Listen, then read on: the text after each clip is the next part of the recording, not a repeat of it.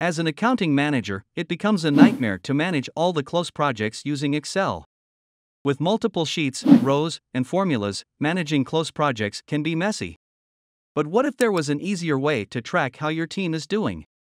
With HighRadius, you can easily define rules, assign tasks to team members, and track progress within a centralized platform. Log into the HighRadius Autonomous Accounting Platform. You will see a dashboard that provides you with a status overview of all the closed projects, such as the status of how many tasks have been assigned, how many are awaiting approval, how many have been completed, or how many are delayed. Scroll to the Open Task by Assignee section to check the status of each task that the accountants are working on. You can see how many tasks are open, overdue, or completed.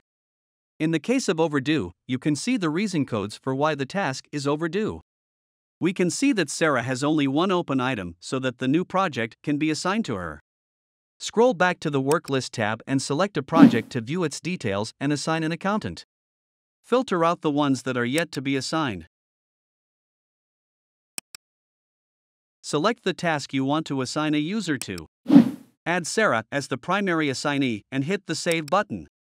This is how you can have an overview of your team's close tasks in a matter of a few clicks. Learn more about how HighRadius Autonomous Accounting can make your life simple and help you achieve day zero close. Connect with our expert today.